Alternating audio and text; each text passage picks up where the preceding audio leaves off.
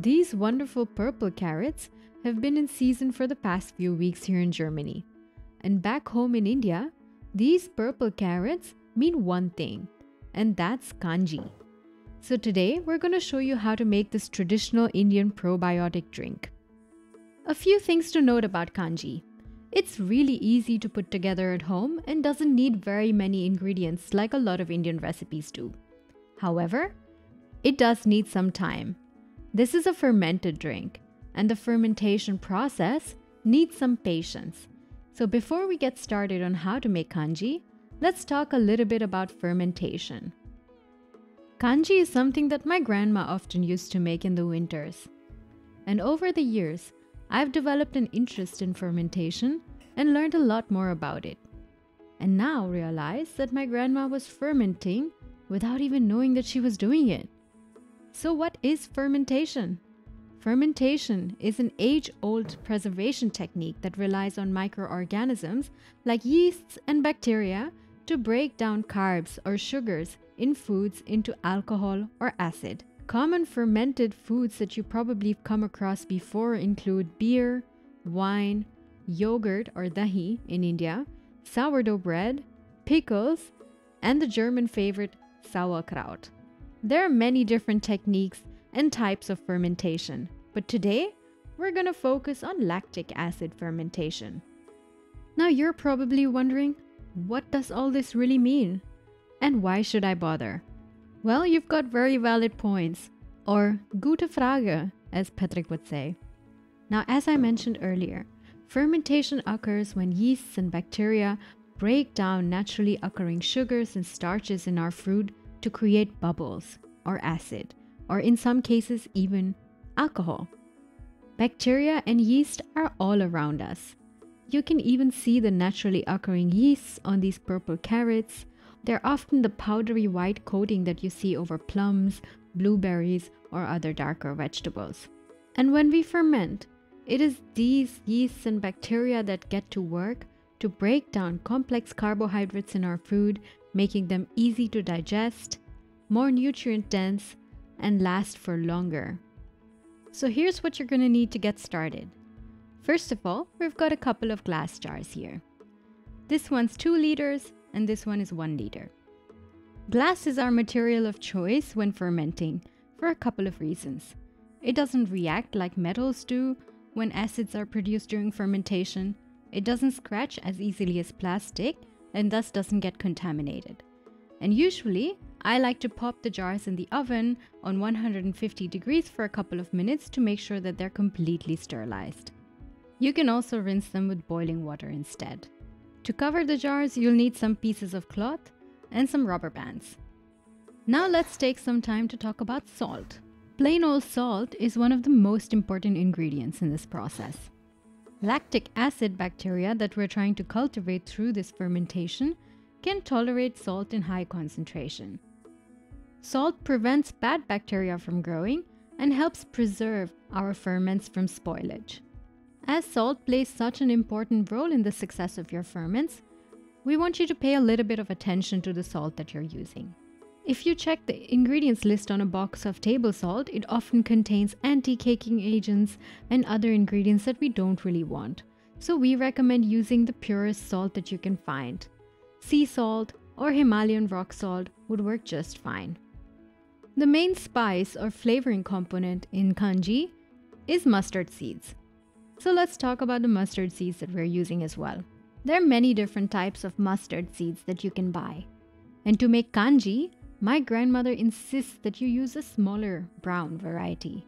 So if you compare with rai, as we call it, these are larger mustard seeds and they're a lot more spicy or pungent compared to the smaller variety, which is a little bit milder and more sour in comparison.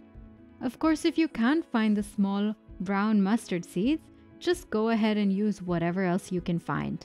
Yellow mustard seeds would do as well. Now moving on to the vegetables. The inspiration for making kanji was these purple carrots, so we're definitely using those. And along with that goes in some beetroot. And since we know that not all of you are going to be able to get your hands on purple carrots, we're doing a version with regular orange carrots to show you that those work just as well. We're using organic vegetables here because we want to make sure that we make the most of the yeasts that are present on the surface of the vegetables. We're gonna wash them really well and if you can help it, try not to peel them. But if you must, and if you can't catch hold of organic vegetables around you, then of course you can peel them as well. We want to show you two different variations of this kanji recipe. First, we're gonna start with the traditional method. Start by chopping three medium-sized purple carrots into sticks. It doesn't really matter how you chop them, but we like to cut them in sticks so that they're easy to take out from the drink later on and can be added to salads. Next, we've got a medium-sized beetroot here that we're peeling and also cutting in sticks. And that's it for the chopping. Now that we've got our vegetables sorted, we can move to the main flavoring ingredient in kanji, and that's mustard. We've got one tablespoon of mustard here, and for this variation, we're going the lazy route and grinding it in our mixer. And once all ground up, it should look nice and mustard yellow, like this. And now for the assembly. Take your glass jar and add the ground mustard. Next goes in the salt. When fermenting, salt is generally added as a percentage of the weight of the ingredients that are being fermented. So in this case, that's a 2% salt solution, which is 2.5 tablespoons of salt that we're adding to the jar. And since we Punjabis love our red chili powder so much, that's also a typical addition to this drink.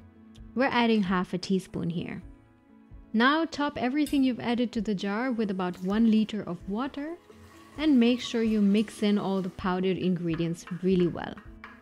Before we add our vegetables to the jar, we want to make sure that the salt that we added is completely dissolved into the water. So just make sure that there's no salt settled at the bottom. Next, add in all of the vegetables that we chopped earlier. So that's our carrot sticks and beetroot. And then top off the rest of the jar with more water. You want to make sure that the carrots are completely submerged underwater in order for them to ferment in an anaerobic environment. We needed to add an additional half a liter of water to make sure that our carrots were completely submerged.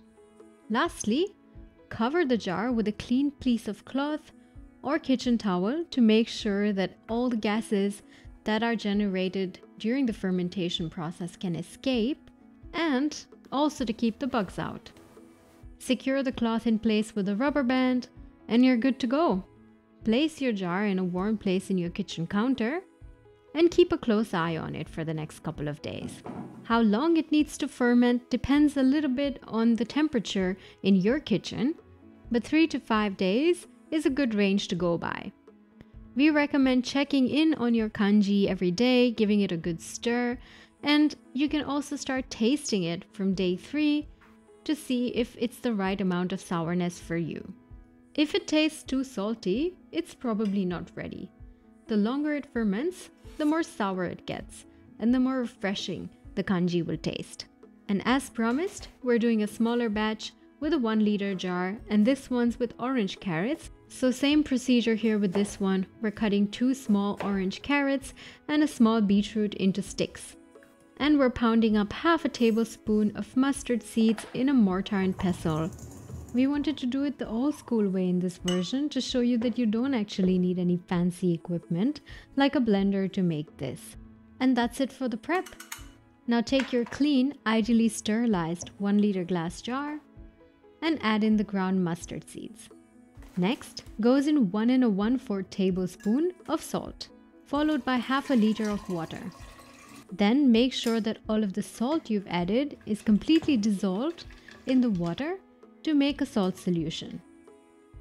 Then you can add in the chopped vegetables, followed by some more water to fill the jar to the top and to make sure that the carrots are completely submerged. The last step here is to cover the jar with a kitchen cloth and to secure it with a rubber band. And that's it. Just like before, now all you've got to do is wait and let time do its magic. And just like with the other version, give your kanji a stir every now and then and taste it to determine whether you're happy with its level of doneness. Once you are happy with how it tastes, you're ready to bottle or serve your kanji. Kanji tastes best when it's cold, so we like to bottle it up and separate the drink from the rest of the vegetables.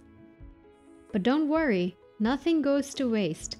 As a result of the fermentation process, the carrots and beetroots take a new life of their own and are great pickled vegetables that you can snack on or add to salads. And that's it, folks. That's our take on an age old Punjabi drink called kanji. We hope that you enjoyed this little lesson on fermentation in our effort to inspire you to include more probiotics in your diet. If you enjoyed today's video, don't forget to give it a like. And we absolutely love hearing from you in the comments section. So let us know what your favorite fermented foods are. And if you'd like to see more videos from our kitchen, don't forget to hit the subscribe button. We have new videos coming up every other Friday. Until then, happy fermenting!